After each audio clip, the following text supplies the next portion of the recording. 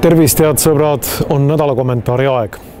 juba teises videokommentaaris vähem kui poole aasta jooksul pean kahjuks ütlema alustuseks samad sõnad. puhaku nad rahus. meie toimetuse kaastunne Brüsseli terrorirünnakus hukkunud omastele. muuseas olgu öeldud, et ka mitmed minu sõbrad ja tuttavad olid mõnekümne meetri kaugusel plahvatuskeskustest, kuid õnneks jäid kõik inimesed ellu nii mõnelgi korral on kõlanud peale Brüsseli terrorirünnakuid, et vasakliberaalne leer ja rahvuskonservatiivne leer tegelevad võrdväärselt oma toetajate ässitamisega ning reaalse probleemi lahenduseks pole tehtud midagi ära. Muiged ja iroonilised märkused vasakliberaalse eliidi suunal on saanud külge isegi täitsa mõistlike inimeste poolt populismi ja parastamise sildi ikooniks on saanud näitlejanna Võigemast, kes koos Postimehe arvamusliidrite lõunaga ajastas oma hirmujutu tsipa, kui pehmelt öelda, valesse hetke. umbes nädal enne seda, kui tuli reaalselt põlema pandi ja leiti, et sahvrisse ongi peidetud pomm ja hirm või ohutunne olid igati põhjendatud umbes sama hea ajastusega tuli lagedale eestlaste väidetava kitsarinnalisuse üle ironiseeriv tujurikkuja.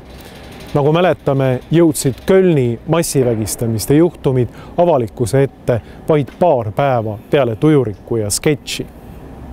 mõned hääled on öelnud, et äh, võtame maha aja ja analüüsime olukorda. Pole halb mõte. teeme seda ilma igasuguste emotsioonideta mina Objektiivi toimetuses hea meelega alustaksin. Toomas Hendrik Ilves ja Krister Paris on nimelt rääkinud sellest, kuidas Euroopa peamiseks ohuks pole mitte islami terrorism, vaid nende sõnul nii-öelda parem äärmuslus. vaatame siis fakte ja alustame lihtsate küsimustega. kui palju inimesi on niinimetatud paremäärmuslus, mille hulka kuulub vähemalt Parise hinnangul ka Poola õiglus- ja õiguspartei ja Viktor Orbani Fidesz Euroopas viimastel aegadel põhjustanud. kes tappis Charlie Hebdo toimetuse liikmeid? kas Orbani agendid? kes korraldas Pariisi terroriaktsiooni, milles hukkus sada kolmkümmend inimest? kas Marine Le Pen? Kes laskis Brüsselis õhku üle kolmekümne inimese? kas kohalikud kristlased ja niinimetatud paremäärmuslased.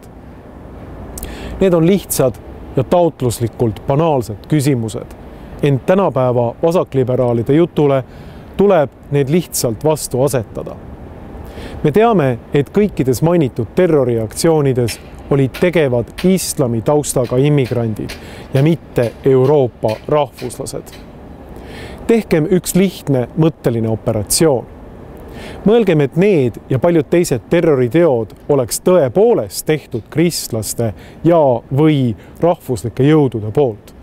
kas te kujutate ette, et Paris, Lobjakas, Ilves ja paljud teised, tegelikult kogu Euroopa eliit räägiksid, et kristlus on ikka rahureligioon ja konkreetsetel aktsioonidel pole kristlusega mitte midagi pistmist. ma siiralt loodan, et ma ei näe seda päeva, mil saame sellele väitele kinnitust. ent mõttelise eksperimendina on see igal juhul huvitav. aga jätkakem emotsioonitu analüüsi radadel.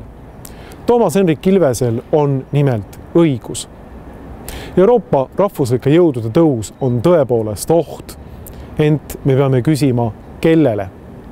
see on reaalne ja tõsine oht Euroopa vasakliberaalsele eliidile kes üritab läbi suruda multikulti imedemaad ja teostada oma unelmat, mis üritab islamiseerumise kaudu anda surmahoopi Euroopa tõelisele identiteedile, kristlikule Euroopale.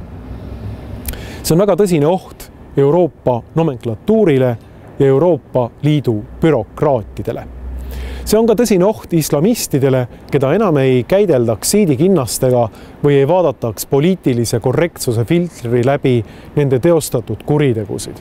see oleks oht ühele ideoloogiale, mis oma tulemites reaalselt tapab inimesi, nagu me viimaste terrorirünnakute näitel oleme kogenud.